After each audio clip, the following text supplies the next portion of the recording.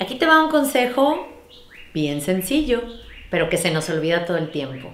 Rodéate de gente buena onda, porque gente mala onda, criticona, mala leche, que te quiere meter el pie, que no le da gusto cuando te va bien, hay un montón en este planeta.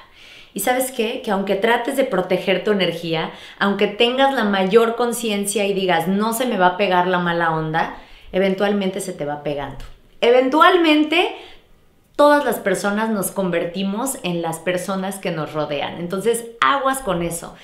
Eh, dicen mucho, ¿no? Como que no puedes cambiar a la gente que te rodea, pero sí puedes cambiar a la gente que te rodea. ¿Sí me cachas?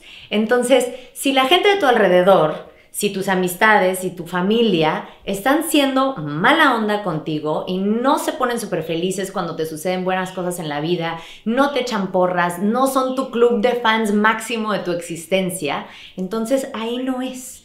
Y eso a veces es súper doloroso, pero vale la pena ir a explorar otras amistades, otros grupos de amigos, otros momentos. Con la familia es más complejo, pero también siempre está el primo que sí es buena onda, la prima que sí te cacha perfecto, o incluso tener una conversación incómoda en donde les dices, ¿saben qué? Siento que no me están echando porras como yo necesito, yo quiero más apoyo de su parte. Y en una de esas, con mucha suerte, hasta cambias una dinámica familiar, lo cual sería espectacular. Entonces, en resumen, el consejo es, rodéate de gente buena onda, porque la vida es demasiado corta como para estar con gente que ni siquiera nos cae tan bien. ¿O no?